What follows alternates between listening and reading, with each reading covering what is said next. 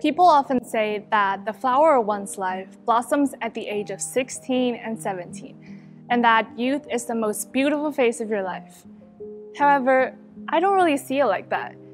Indeed, there are so many possibilities and choices that are present in this period, but as your anticipation overflows, we do not acquire the ability to control our lives, and we're always looking into the world through others' eyes.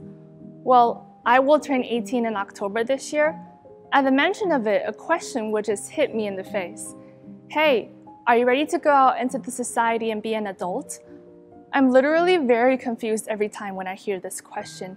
Well, it seems like the number 18 just magically turns you into some strange woman that I won't even recognize myself. I would always imagine myself being picked up from a cozy bed and thrown out into the society when a bell of 18 chimes.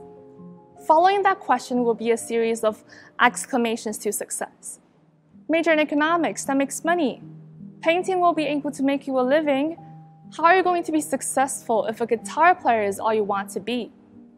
My friend Mia was a crazy enthusiast of drawing. She has won tons of awards because of her pictures since a very, very young age. However, when she was about to pursue the arts in college and was so close to achieve what she had wished for, her dream was put on hold. Under the pressure of her parents' grumbling and other skeptical attitudes, she had to put down her pains and apply for math major instead. But doesn't it seem conflicting? That we're told to make our own world, but our future is still being defined by others? Time changes. The definition for mediocrity and success changes as well. The person who has the right and ability to evaluate and judge our own lives is ourselves. We're told from such a young age to be yourself and change your world, but what is making it so hard to change these slogans and motivations into actions? China's economics right now are developing vastly, so there should be more and more opportunities for us to choose non traditional paths. We, the Chinese youths, should be seizing the opportunity right now and make our future our own world. Well, for me, I'm a girl who wants to stand out a place for myself in the STEM areas.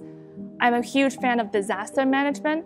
Well, it might not be a typical path, especially for me as a girl, but with all these natural crises like COVID and climate changes, things have to be done. And pursuing this path is my way of changing the world and making my future fit into it we might have seen so few miracles and listened to so many discouraging words that we have to believe our life is leading towards mediocrity. But when we look back from much later, yes, we might not regret that we did not make grand changes or did not become prosper, but I believe we will indeed regret that we did not make ourselves proud.